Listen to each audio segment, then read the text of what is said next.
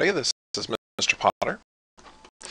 In our previous lessons, we've been dealing primarily with one-dimensional data structures, arrays and array lists. And we will find it helpful to start dealing with multiple dimensional array structures.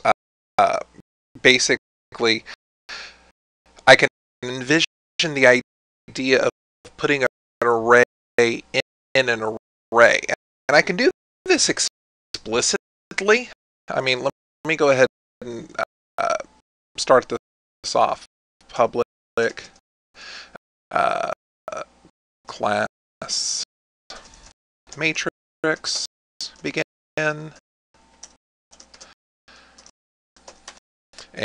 and, public static. Void main. String args.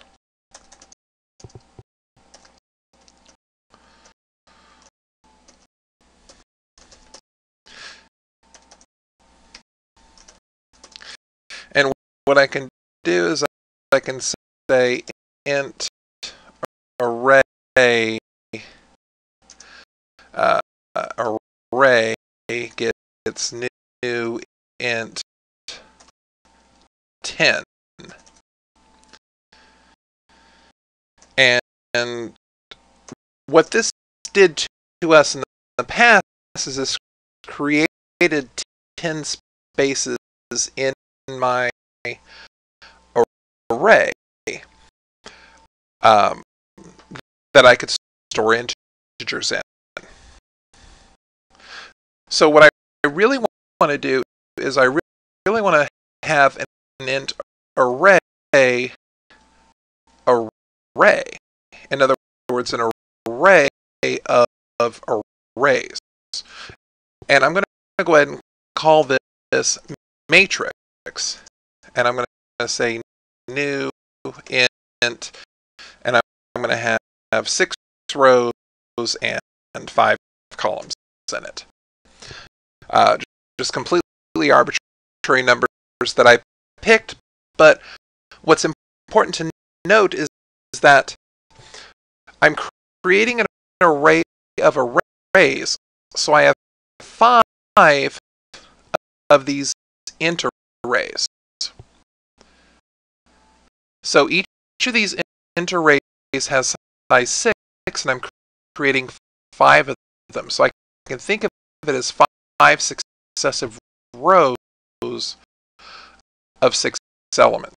Or I can think of it as six rows of five elements. It's actually going to be helpful to think about it in that, that latter case. So what I can do is I can fill this up using our traditional loops.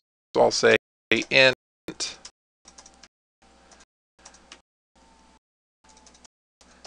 int uh,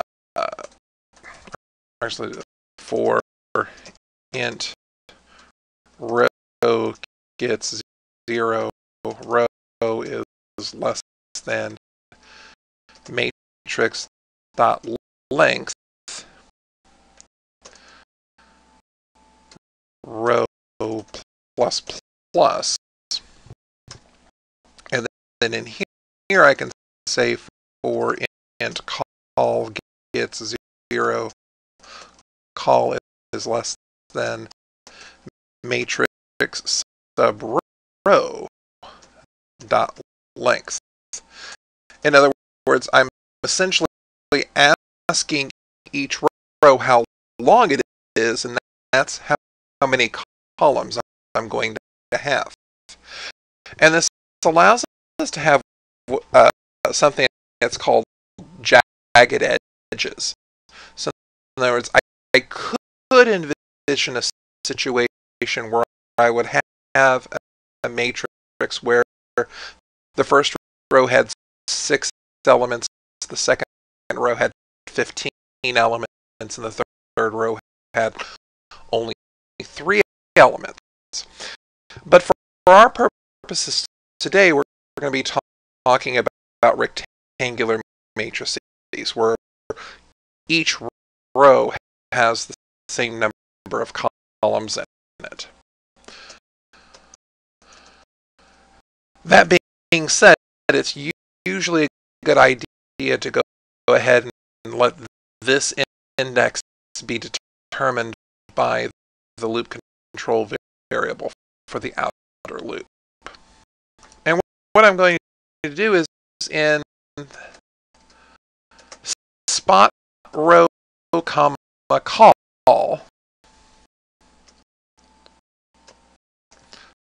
I'm going to assign a value. Let's go ahead and say row plus call plus 2. So what's happening here is I can imagine in my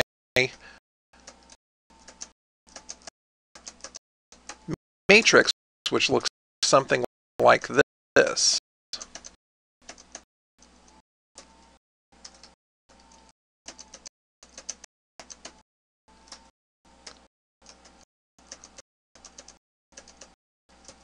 Each row has six elements in it. Excuse me. Each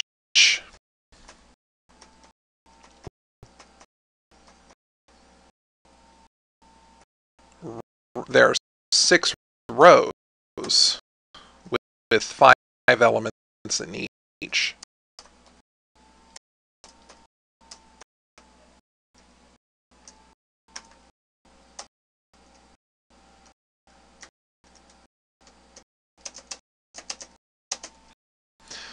So in this first position, this is row 0 and column 0, so it's going to be nothing plus nothing plus 2.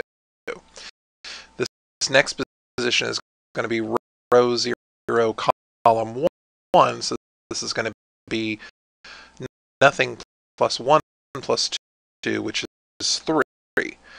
And it's going to be 4 five,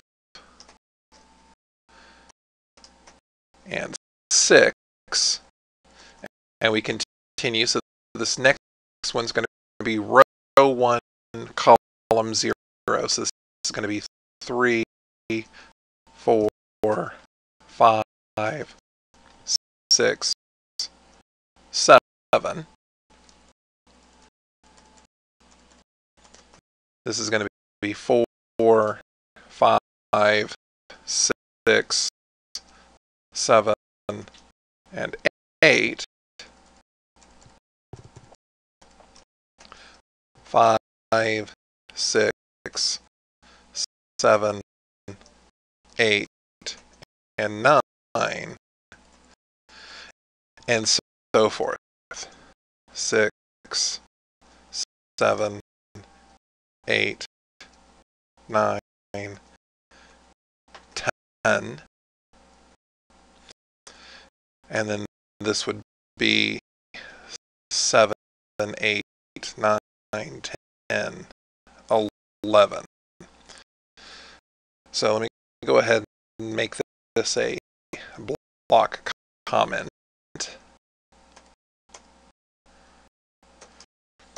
So I know that that's what it sh should look like.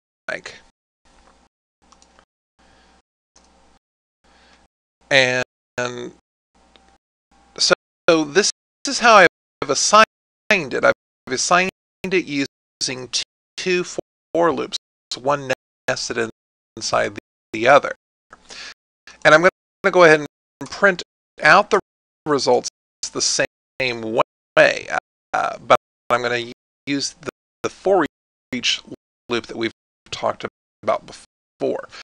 So I'm going to say for I'm going to have, have an int array called row in matrix.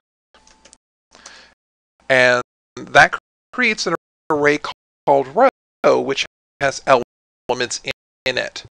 So now I can go through the, those row elements. So I can say for int call in row. And I can system dot out dot print call.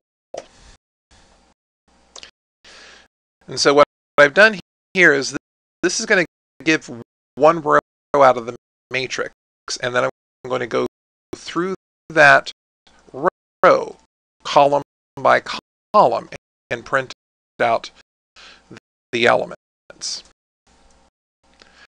And then, of course, it would be really nice to do a system dot out dot print line to print out lines in between, and we'll go ahead and make sure that this loop is in braces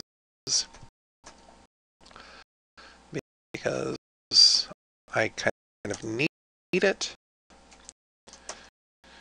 And so now if I run this, if I haven't done any egregious errors, like this, this one. So I don't want int array. This is just an int. So the thing is my row is composed of integers. Each column is an integer value. That was my mistake here. So I see the 2, 3, 4, 5, 6. Let me put a space in here just to make it more legible. So I see the 2, 3, 4, 5, 6, 3, 4, 5, 6, 7, 4, 5, 6, 7, 8, 5, 6, 7, 8, 9, 6, 7, 8, 9, 10, and 7, 8, 9, 10, 11. Exactly the same as what I predicted up here. So the idea is that I, I could have used that same for each loop up here, to assign. And I could have used the same uh, uh, nested for loop up here to print it out. But, but the idea is that whenever I, I want to, to traverse a matrix, whenever I want to put data in or get data out of an existing matrix, I need to do it this way. I need to do it using a series of loops, either for loops or for each loops or while loops.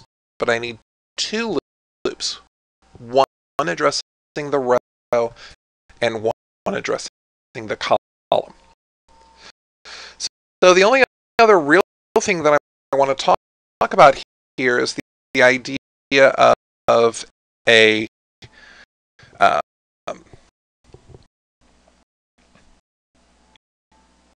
the thing is we have, have string literals and we have array literals and if a matrix is just an array of array then, then certainly I could have a matrix literal. So I'm going to go ahead and do the same idea here. So I'm going to say char, and I'm going to make it a matrix, and we'll call it words, gets, and I'm going to do this as a literal. So inside here, I'm going to have an array of arrays. So I'm going to have, uh, let's, let's go ahead and call this uh, say A, L,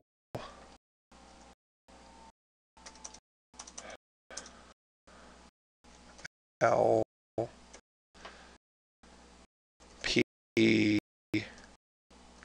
H A B E and T. So that's my first row. My second row, we'll go ahead and say, uh, and I love this auto formatting here. Uh, um, uh, in U M B E R S comma and because I'm separating these elements of this outer array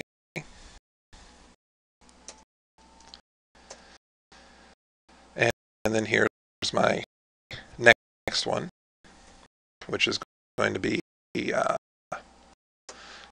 let's do one two three a, B, C.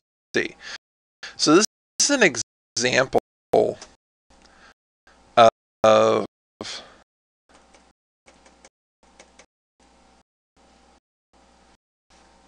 a an array literal where this is a jagged matrix. In other words, the elements are not going to be the same.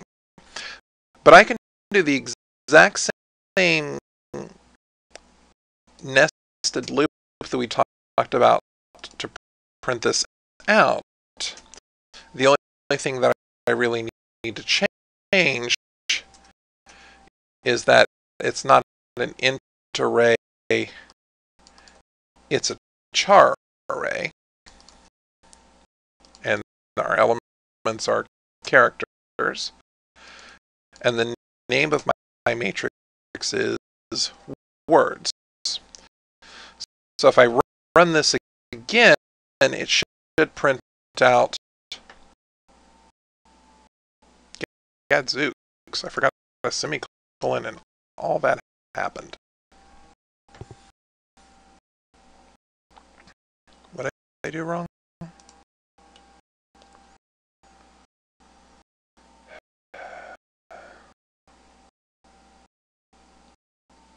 Oh, I forgot to close one char. And the world exploded. And I forgot open that char.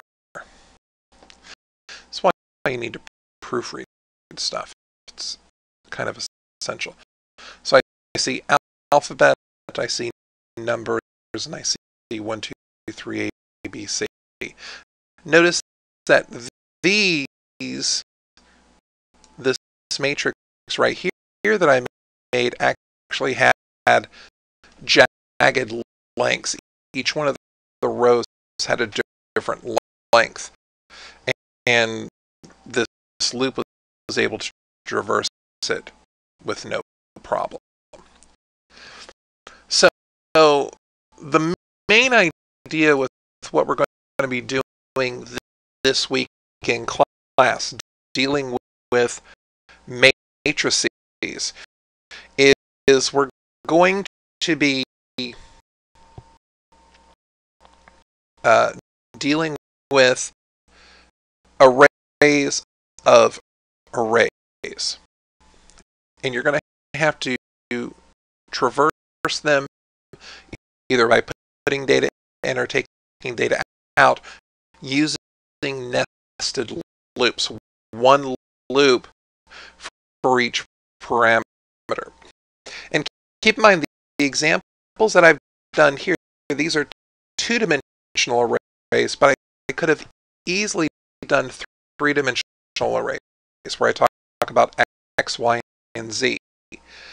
So instead of just being in column 2 and row 3, I could be column 2 of row 3 of sheet 3. Uh, and those of y'all who've dealt with Excel documents have noticed that you, you can have a row, a column, and a sheet. Um, I certainly could extend this to four dimensions. Let's talk about the x, y, and z position and the time um, for, for, a helicopter that's flying. So I could talk about four-dimensional analysis. Um, basically, think of it as an array of array of arrays of arrays. And I can continue this as, as deep as I need to. However, for, for the AP, we're only going to be dealing with two-dimensional matrices. And the AP is going to be dealing almost exclusively with uh, rectangular matrices, not uh, jagged matrices. So we'll, we'll continue talking about matrices this week, but once again, this is Mr. Potter. Thank you for watching. Have a great day.